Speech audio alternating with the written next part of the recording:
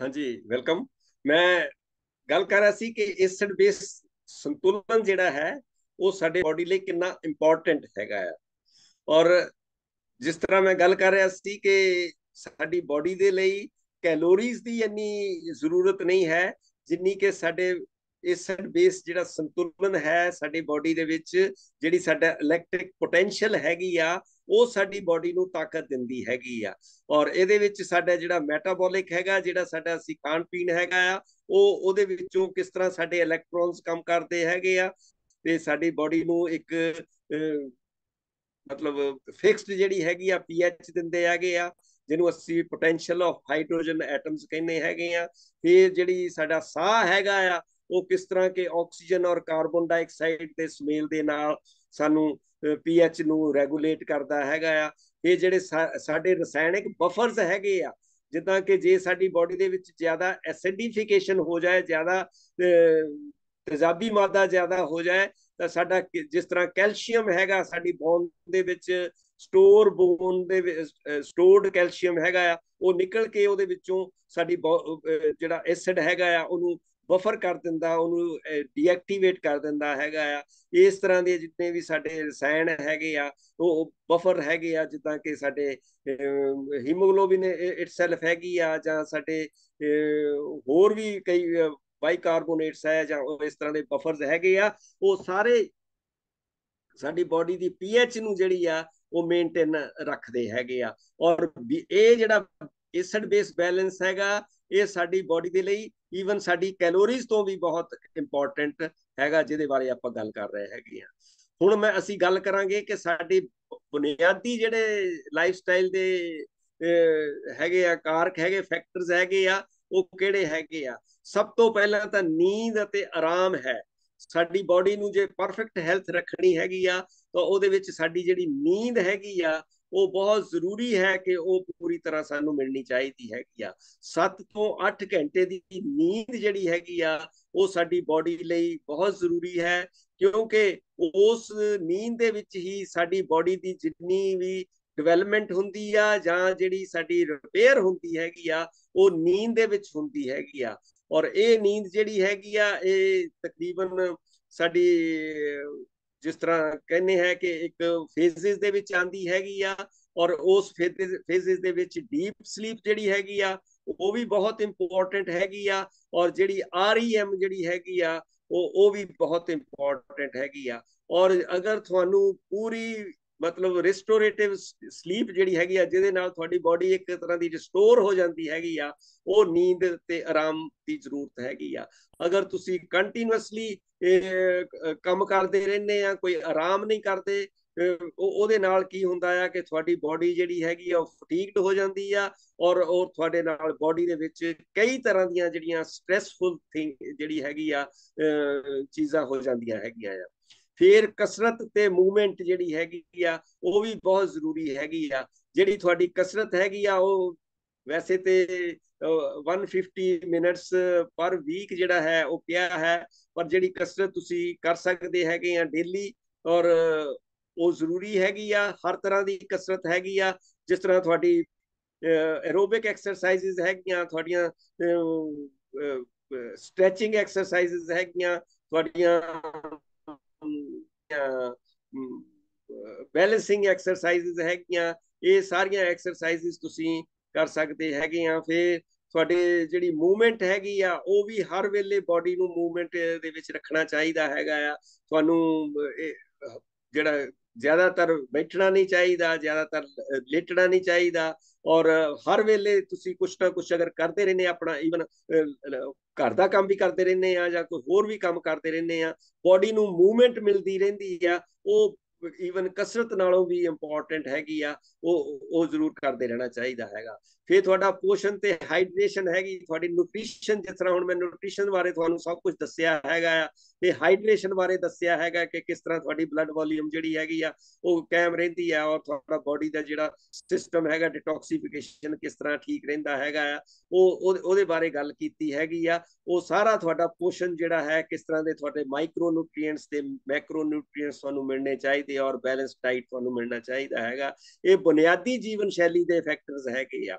ਤੇ ਲਚਕੀਲੇਪਨ ਅਤੇ ਤਣਾਅ ਸਟ੍ਰੈਸ ਤੇ ਰੈਜ਼ਿਲੀਅੰਸ ਕਿੰਨੀ ਕੁ ਹੈਗੀ ਆ, ਇਹ, ਇਹਨੂੰ ਤੁਹਾਨੂੰ ਘਟਾਉਣਾ ਚਾਹੀਦਾ ਹੈਗਾ। ਸਟ੍ਰੈਸ ਦੇ ਲਈ ਮੈਂ ਤੁਹਾਨੂੰ ਦੱਸਿਆ ਹੈਗਾ ਆ ਕਿ ਕਿਸ ਤਰ੍ਹਾਂ ਤੁਸੀਂ ਆਪਣੇ ਮੈਂਟਲ ਫਿਜ਼ੀਕਲ ਔਰ ਮੈਂਟਲ ਇਮੋਸ਼ਨਲ ਤੇ ਸਪਿਰਚੁਅਲ ਜਿਹੜਾ ਹੈਗਾ ਆ, ਉਹ ਸਾਰਾ ਸਟ੍ਰੈਸ ਦੇ ਉੱਤੇ ਡਿਪੈਂਡ ਕਰਦਾ ਹੈਗਾ ਆ ਕਿ ਉਹ ਉਹ ਕਿਸ ਤਰ੍ਹਾਂ ਤੁਹਾਨੂੰ ਠੀਕ ਰੱਖ ਸਕਦਾ ਹੈਗਾ।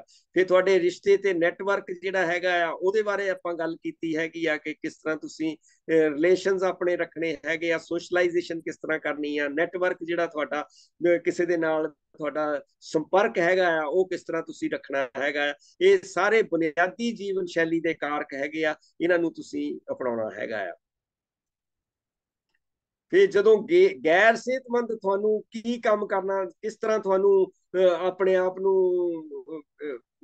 ਬਣਾਉਣਾ ਪੈਣਾ ਹੈਗਾ ਆ ਕੀ ਤੁਹਾਨੂੰ ਲੱਭਣਾ ਪੈਣਾ ਹੈਗਾ ਆ, ਉਹ ਉਹ ਤੁਸੀਂ ਦੇਖਣਾ ਹੈਗਾ ਆ ਕਿ ਤੁਹਾਡੀ ਜਿਹੜੀ ਪ੍ਰੋਬਲਮ ਆਈ ਹੈਗੇ, ਉਹਦੇ ਐਂਟੀਸੀਡੈਂਟਸ ਕੀ ਹੈ ਉਹਦੇ ਪੂਰਵਜ ਕੀ ਹੈ, ਕਿਸ ਕਰਕੇ ਤੁਹਾਨੂੰ ਉਹ ਪ੍ਰੋਬਲਮ ਆਈ ਹੈ, ਉਹਦੇ ਬਾਰੇ ਅਨੁਮਾਨ ਲਗਾਉਣਾ ਆ ਕਿ ਉਹਦੇ ਪ੍ਰੀਡਿਸਪੋਜ਼ਿੰਗ ਫੈਕਟਰਸ ਕਿਹੜੇ ਹੈਗੇ ਆ, ਕੀ ਉਹ ਜੈਨੇਟਿਕ ਹੈਗੇ ਆ, ਕੀ ਉਹ ਤੁਹਾਨੂੰ ਆਪਣੇ ਮਾਪੇ ਤੋਂ ਮਿਲੇ ਆ, ਕੀ ਤੁਹਾਡੇ ਵਾਤਾਵਰਣ ਦੇ ਵਿੱਚ ਕੋਈ ਐਸੀ ਖਰਾਬੀ ਹੈਗੀ ਆ, ਜਿਹਦੇ ਕਰਕੇ ਤੁਹਾਨੂੰ ਉਹ ਮਿਲਿਆ ਹੈਗਾ। ਫਿਰ ਉਹਦੇ ਟ੍ਰਿਗਰਿੰਗ ਫੈਕਟਰ ਇਵੈਂਟਸ ਕੀ ਹੈ? ਕਿ ਕਿਸ ਕਿਸ ਤਰੀਕੇ ਦੇ ਨਾਲ ਉਹ ਕਿਹੜੀਆਂ ਕਿਹੜੀਆਂ ਚੀਜ਼ਾਂ ਦੇ ਨਾਲ ਤੁਹਾਡਾ ਜਿਹੜਾ ਬਿਮਾਰੀ ਹੈਗੀ ਆ ਜਾਂ ਤੁਹਾਡਾ ਉਹ ਪ੍ਰੋਬਲਮ ਹੈਗੀ ਆ, ਉਹ ਵਧੀ ਹੈਗੀ ਆ? ਕੀ ਚੀਜ਼ਾਂ ਉਹਨੂੰ ਟ੍ਰਿਗਰ ਕੀਤੀਆਂ ਹੈਗੀਆਂ ਆ? ਕੋਈ ਕੀਨ ਐਕਟੀਵੇਟ ਕੀਤਾ ਆ? ਕਿਸੇ ਨੇ ਉਹਨੂੰ ਵਧਾਇਆ ਹੈਗਾ ਆ?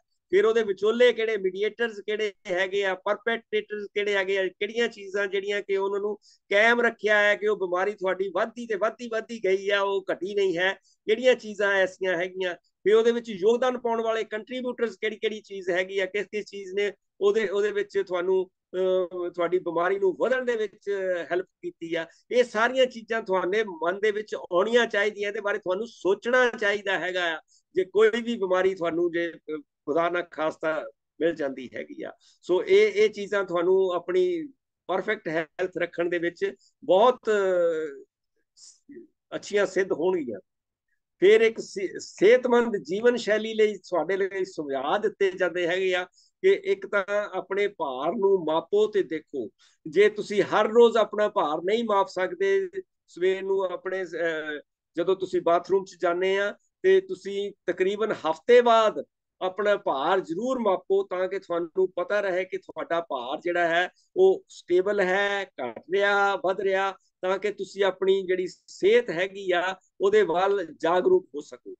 ਫਿਰ ਗੈਰ ਸਿਹਤਮੰਦ ਭੋਜਨ ਜਿਹੜੇ ਹੈਗੇ ਆ ਉਹਨਾਂ ਨੂੰ ਸੀਮਤ ਕਰੋ। ਗੈਰ ਸਿਹਤਮੰਦ ਭੋਜਨ ਜਿਹੜੇ ਕਿਹੜੇ ਮੈਂ ਤੁਹਾਨੂੰ ਦੱਸੇ ਆ ਕਿ ਤੁਹਾਡੇ ਜਿੰਨੇ ਵੀ ਪੈਕੇਜ ਫੂਡ ਹੈਗੇ ਆ ਪ੍ਰੋਸੈਸਡ ਫੂਡ ਹੈਗੇ ਆ ਜਾਂ ਜਿਹੜੇ ਤੁਹਾਡੇ ਅਨਨੈਚੁਰਲ ਫੂਡ ਹੈਗੇ ਆ, ਇਹਨਾਂ ਜਿਹੜੇ ਤੁਹਾਡੇ ਇਨਆਰਗੈਨਿਕ ਹੈਗੇ ਆ ਜਿਹੜੇ ਤੁਸੀਂ ਸਮਝਦੇ ਹੈਗੇ ਆ ਕਿ ਇਹ ਤੁਹਾਡੀ ਬਾਡੀ ਨੂੰ ਠੀਕ ਨਹੀਂ ਹੈ ਉਹਨਾਂ ਦਾ ਪਰਹੇਜ਼ ਕਰੋ ਤੇ ਜਿਹੜੇ ਸਿਹਤਮੰਦ ਭੋਜਨ ਹੈ ਜਿੱਦਾਂ ਕਿ ਪਲਾਂਟ ਬੇਸਡ ਭੋਜਨ ਹੈਗਾ ਆ ਵੈਜੀਟੇਬਲਸ ਹੈਗੀਆਂ ਫਰੂਟਸ ਹੈਗੇ ਆ ਨਟਸ ਐਂਡ ਸੀਡਸ ਹੈਗੇ ਆ, ਤੇ ਜਿੰਨੇ ਤੁਹਾਡੇ ਅਨਰਿਫਾਈਨਡ ਜਿਹੜੇ ਆਇਲਸ ਹੈਗੇ ਆ, ਜਾਂ ਫਿਰ ਨੈਚੁਰਲ ਜਿਹੜੇ ਹੈਲਦੀ ਆਇਲਸ ਹੈਗੇ ਆ ਉਹਨਾਂ ਦਾ ਇਸਤੇਮਾਲ ਤੁਹਾਨੂੰ ਕਰਨਾ ਚਾਹੀਦਾ ਹੈਗਾ।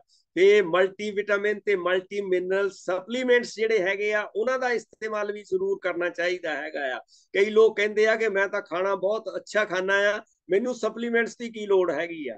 ਉਹ ਸਪਲੀਮੈਂਟਸ ਭਰਾਵੋ, ਉਹਦੇ, ਉਹਨਾਂ ਲਈ ਵੀ ਹੈ ਕਿਉਂਕਿ ਜਿਹੜੇ ਜਿੰਨੇ ਜਿਸ ਤਰ੍ਹਾਂ ਮੈਂ ਤੁਹਾਨੂੰ ਦੱਸਿਆ ਹੈਗਾ ਆ ਕਿ ਜਿਹੜੀਆਂ ਸਾਡੀਆਂ ਡੈਫੀਸ਼ੀਐਂਸੀਜ਼ ਹੈਗੀਆਂ ਆ, ਜਦੋਂ ਸਾਡੇ ਬਾਡੀ ਦੇ ਵਿੱਚ ਕਿਸੇ ਵੀ ਮਲਟੀ ਮਿਨਰਲ ਜਾਂ ਮਲਟੀ ਵਿਟਾਮਿਨ ਦੀ ਡੈਫੀਸ਼ੀਐਂਸੀ ਹੁੰਦੀ ਆ, ਤਾਂ ਸਾਡੀ ਬਾਡੀ ਜਿਹੜੀ ਹੈਗੀ ਆ, ਉਹ ਡੈਫੀਸ਼ੀਐਂਸੀਜ਼ ਕਰਕੇ ਜਿਹੜੇ ਸਾਡੇ ਸਰਵਾਈਵਲ ਮੈਕੈਨਿਜ਼ਮ ਦੇ ਰਿਐਕਸ਼ਨਸ ਹੈਗੇ ਆ, ਉਹਨਾਂ ਨੂੰ ਹੀ ਪੂਰਾ ਕਰਦੀ ਆ ਤੇ ਜਿਹੜੇ ਸਾਡੇ ਲੋਂਜੈਵਿਟੀ ਵਾਲੇ, ਜਿਹੜੇ ਪਰਫੈਕਟ ਹੈਲਥ ਵਾਲੇ, ਜਿਹੜੇ ਸਾਡੇ ਉਮਰ ਦਰਾਜ਼ ਕਰਨ ਵਾਲੇ ਰਿਐਕਸ਼ਨਸ ਹੈਗੇ ਆ, ਉਹਨਾਂ ਤੋਂ ਪਰਹੇਜ਼ ਕਰਦੀ ਹੈਗੀ ਆ। ਇਸ ਕਰਕੇ ਜਿਹੜੇ ਸਾਡੇ ਤੱਤ ਹੈਗੇ ਆ, ਇਹ ਮਾਈਕਰੋ ਨਿਊਟ੍ਰੀਐਂਟਸ ਦੇ, ਇਹ ਸਾਨੂੰ ਆਪਣੇ ਭੋਜਨ ਦੇ ਵਿੱਚੋਂ ਨਹੀਂ ਮਿਲਦੇ। ਅੱਜ ਤੋਂ 50 60 ਸਾਲ ਤੇ ਪਹਿਲਾਂ ਜਿਹੜੇ ਸਾਨੂੰ ਤੱਤ ਮਿਲਦੇ ਸੀ, ਉਹ ਅੱਜ ਨਹੀਂ ਮਿਲਦੇ। ਉਹਨਾਂ ਦੀ ਕਮੀ ਜਿਹੜੀ ਹੈਗੀ ਆ, ਤਕਰੀਬਨ 50 60% ਘਟ ਗਈ ਹੈਗੀ ਆ। ਇਸ ਕਰਕੇ ਅਸੀਂ ਆਪਣੇ ਭੋਜਨ ਦੇ ਉੱਤੇ 100% ਬਲੀਵ ਨਹੀਂ ਕਰ ਸਕਦੇ ਕਿ ਉਹ ਸਾਨੂੰ ਪੂਰੇ ਤੱਤ ਦੇ ਦੇਗੀ। ਇਸ ਲਈ ਸਾਨੂੰ ਸਪਲੀਮੈਂਟਸ ਦੀ ਬਹੁਤ ਜ਼ਰੂਰਤ ਹੈਗੀ ਆ।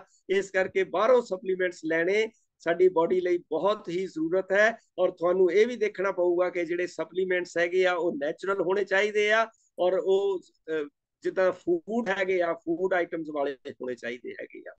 ਫਿਰ ਜਿਹੜਾ ਪਾਣੀ ਹੈਗਾ ਆ, ਉਹ ਹਾਈਡਰੇਟ ਕਰਨ ਦੇ ਲਈ ਸਾਨੂੰ ਪ੍ਰੋਪਰ ਜਿਹੜੇ ਆ 10 12 ਗਲਾਸ ਜ਼ਰੂਰ ਪੀਣੇ ਚਾਹੀਦੇ, ਗਰਮੀਆਂ ਦੇ ਵਿੱਚ ਜ਼ਿਆਦਾ ਵੀ ਪੀਣਾ ਚਾਹੀਦਾ ਆ। ਤੇ ਜਿਹੜੇ ਸ਼ੂਗਰ ਵਾਲੇ ਪੀਣ ਵਾਲੇ ਪਦਾਰਥ ਹੈਗੇ ਆ, ਜਿੰਨੇ ਪੇ ਪਦਾਰਥ ਹੈਗੇ ਆ ਜਿੱਦਾਂ ਕੋਲੇਜ਼ ਹੈਗੇ ਆ ਜਾਂ ਸ਼ਰਬਤ ਜ਼ਿਆਦਾ ਇਸ ਤਰ੍ਹਾਂ ਦੇ ਹੈਗੇ ਆ, ਉਹਨਾਂ ਤੋਂ ਪਰਹੇਜ਼ ਕਰਨਾ ਚਾਹੀਦਾ ਹੈਗਾ। ਜਿਹੜੀ ਨਿਯਮਤ ਤੌਰ ਤੇ ਕਸਰਤ ਹੈਗੀ ਆ, ਜਿਸ ਤਰ੍ਹਾਂ ਮੈਂ ਤੁਹਾਨੂੰ ਦੱਸਿਆ ਆ ਕਿ ਡੇਲੀ ਕਸਰਤ ਜਿਹੜੀ ਹੈਗੀ ਆ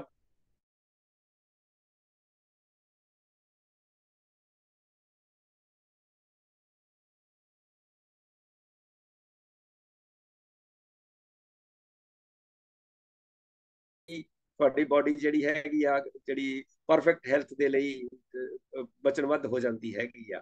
ਬੈਠਣ ਤੇ ਸਕਰੀਨ ਦਾ ਸਮਾਂ ਘਟਾਉਣਾ ਚਾਹੀਦਾ, ਤੁਹਾਨੂੰ ਹਮੇਸ਼ਾ ਬੈਠੇ ਰਹਿਣਾ ਨਹੀਂ ਚਾਹੀਦਾ ਸਕਰੀਨ ਦੇ ਜਿਹੜੀ ਤੁਹਾਡੀ ਟੀਵੀ ਸਕਰੀਨ ਹੈਗੀ ਪਰਫੈਕਟ ਹੈਲਥ ਨਹੀਂ ਮਿਲੇਗੀ। ਕਾਫੀ ਚੰਗੀ ਨੀਂਦ ਲਓ, ਨੀਂਦ ਜਿਹੜੀ ਹੈਗੀ ਆ, ਉਹ ਬਹੁਤ ਜ਼ਰੂਰੀ ਹੈਗੀ ਆ, ਔਰ ਇਸ ਲਈ ਤੁਸੀਂ ਅੱਛੀ ਨੀਂਦ ਬਾਰੇ ਮੈਂ ਤੁਹਾਡੇ ਨਾਲ ਗੱਲ ਕੀਤੀ ਹੈਗੀ ਆ। ਫਿਰ ਸ਼ਰਾਬ ਤੇ ਆਸਾਨੀ ਨਾਲ ਜਾਓ ਤੇ ਸੰਜੀਦਾ ਸੋਬਰ ਰਹੋ। ਮਤਲਬ ਸ਼ਰਾਬ ਦਾ ਵੀ ਪਰਹੇਜ਼ ਕਰੋ ਤੇ ਫਿਰ ਤੁਹਾਡਾ ਜਿਹੜਾ ਤਬਾਕੂ ਹੈਗਾ ਉਹ ਤੋਂ ਬਚੋ, ਜਾਂਚ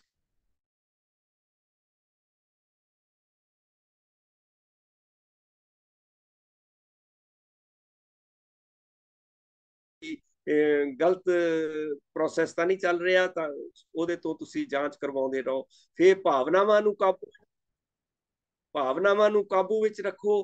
ਭਾਵਨਾਵਾਂ ਜਿਹੜੀਆਂ ਹੈਗੀਆਂ ਆ, ਉਹ ਤੁਹਾਡੇ ਸਰੀਰ ਲਈ ਬਹੁਤ, ਜਿੱਦਾਂ ਮੈਂ ਤੁਹਾਨੂੰ ਦੱਸਿਆ ਹੈਗਾ ਆ ਕਿ 75% ਜਿਹੜੀ ਤੁਹਾਡੀ ਹੈਲਥ ਹੈਗੀ ਆ, ਉਹ ਤੁਹਾਡੇ ਦਿਮਾਗ ਦੇ ਵਿੱਚੋਂ ਉਪਜਦੀ ਹੈਗੀ ਆ, ਜਿਹਦੇ ਵਿੱਚ ਮੈਂਟਲ ਇਮੋਸ਼ਨਲ ਤੇ ਆਪਣੇ ਸਪਿਰਚੁਅਲ ਜਿਹੜੀਆਂ ਹੈਲਥ ਹੈਗੀ ਆ, ਉਹ ਉੱਪਰਦੀ ਹੈਗੀ ਆ। ਫਿਰ ਸਨਬਾਥ ਜਿਹੜਾ ਹੈਗਾ ਆ, ਉਹ ਵੀ ਰੈਗੂਲਰਲੀ ਲੈਣਾ ਚਾਹੀਦਾ।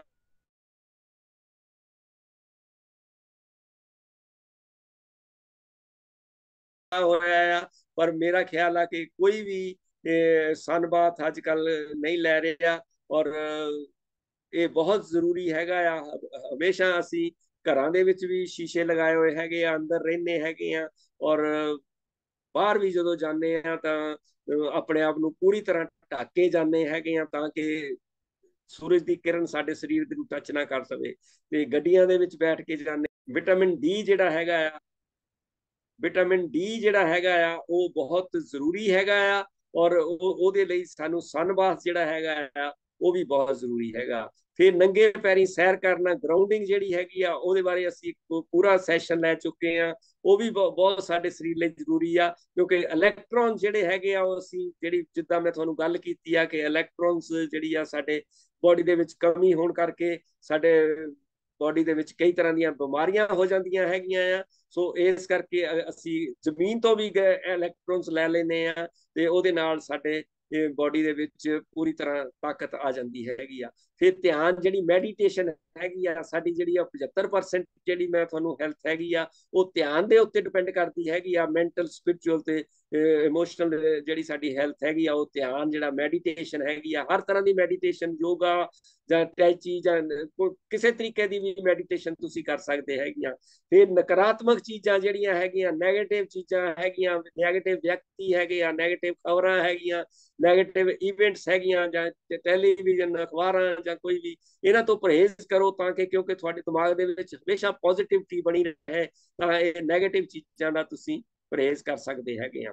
ਸਿਹਤ ਦੇ ਛੇ ਥੰਮ ਜਿਹੜੇ ਹੈਗੇ ਆ, ਡਾਕਟਰ ਜੈਕਬਸ ਨੇ ਦਿੱਤੇ ਹੈਗੇ ਆ। ਉਹਨਾਂ ਦੇ ਵਿੱਚ ਐਕਟਿਵ ਲਿਵਿੰਗ ਜਿਹੜੀ ਹੈਗੀ ਆ, ਤੁਹਾਡਾ ਹਮੇਸ਼ਾ ਮੂਵਮੈਂਟ ਦੇ ਵਿੱਚ ਰਹਿਣਾ ਚਾਹੀਦਾ ਐਕਟਿਵ ਰਹਿਣਾ ਚਾਹੀਦਾ, ਸਿਹਤਮੰਦ ਭੋਜਨ ਖਾਣਾ ਚਾਹੀਦਾ ਰੈਸਟੋਰੇਟਿਵ ਨੀਂਦ ਜਿਹੜੀ ਆ ਉਹ ਬਹੁਤ ਜ਼ਰੂਰੀ ਹੈ, ਤਣਾਅ ਜਿਹੜਾ ਘਟਣਾ, ਘਟਾਉਣਾ ਚਾਹੀਦਾ ਆ, ਉਹਦੇ ਬਾਰੇ ਅਵੇਅਰ ਹੋਣਾ ਚਾਹੀਦਾ ਆ ਫਿਰ ਤੁਹਾਡਾ ਕਨੈਕਸ਼ਨ ਹੈਗਾ ਲੋਕਾਂ ਦੇ ਨਾਲ, ਉਹ ਬਹੁਤ ਜ਼ਰੂਰੀ ਹੈਗਾ ਆ, ਜੇ ਤੁਹਾਡਾ ਕਨੈਕਸ਼ਨ ਲੋਕਾਂ ਦੇ ਨਾਲ ਰਹਿੰਦਾ ਹੈਗਾ, ਤਾਂ ਤੁਹਾਡਾ ਜਿਹੜਾ 75% ਜਿਹੜਾ ਹੈਲਥ ਹੈਗੀ ਆ, ਉਹ ਆਪਣੇ ਆਪ ਹੀ ਠੀਕ ਰਹਿੰਦੀ ਹੈਗੀ ਆ।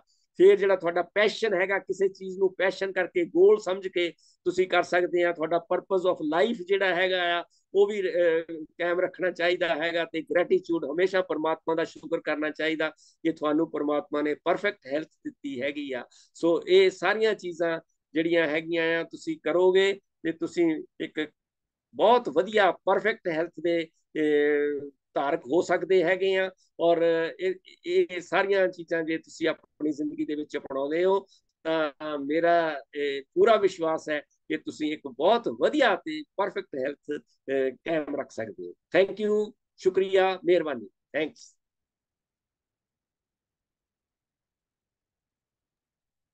ਜੀ thank you so much sir hope ਜਿਨ੍ਹਾਂ ਨੇ ਵੀ ਸਾਨੂੰ ਸੁਣਿਆ ਹੈਗਾ ਤੇ ਇਹਨਾਂ ਨੂੰ ਸਮਝ ਲੱਗ ਗਈ ਹੈ ਕਿ ਕਿਹੜੇ ਕਿਹੜੇ ਟਿਪਸ ਹੈਗੇ ਆ ਕਿ ਆਪਾਂ ਆਪਣੀ ਜਿਹੜੀ ਹੈਲਥ ਨੂੰ ਮੇਨਟੇਨ ਕਿਵੇਂ ਰੱਖ ਸਕੀਏ।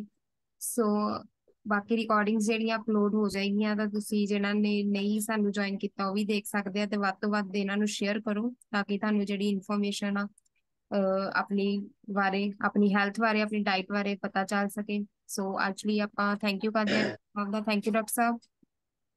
ਸ਼ੁਕਰੀਆ ਜੀ। And thank you to all of you and good evening to all of you. Good evening, Dr. Saab. Good evening.